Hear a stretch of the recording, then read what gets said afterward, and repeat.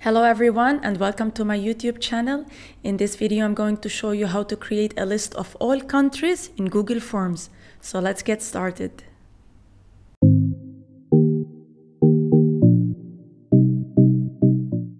Let's say you want to add the location as a question in your Google form.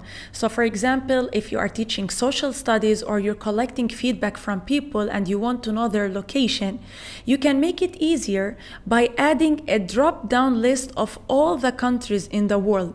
So the person who's filling the Google form can choose the country from the drop-down list rather than typing in the name of the country.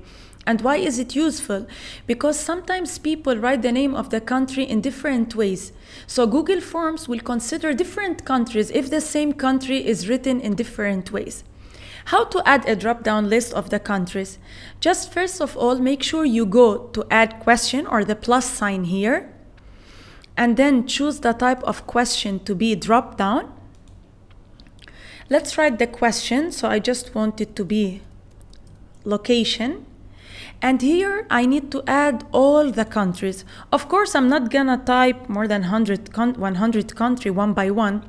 Just go to any external website, any website that has the list of all countries.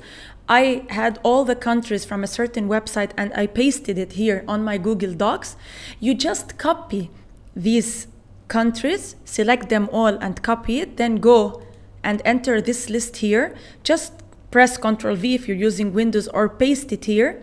And as you can see, Google Forms will take it as separate entries. Let's delete this one because it's empty. And you have a list of all the countries.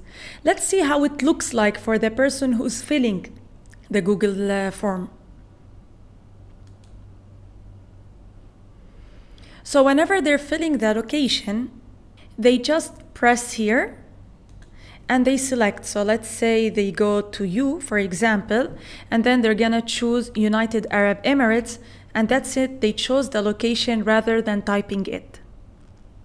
Thank you for watching. Please don't forget to subscribe to my channel and to click on the notification bell so that you don't miss any of my videos.